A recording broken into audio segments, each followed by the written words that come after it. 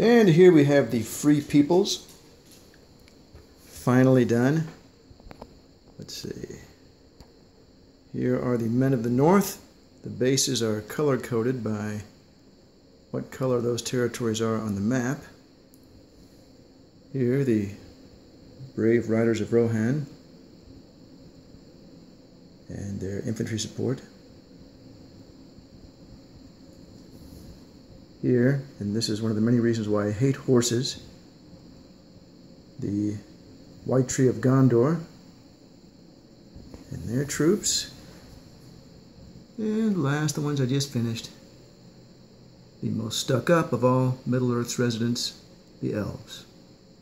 Oh, wait, I forgot. They're very friendly neighbors, the dwarves. I, I may do some more touching up on the dwarves, but otherwise, I think I am done with this project.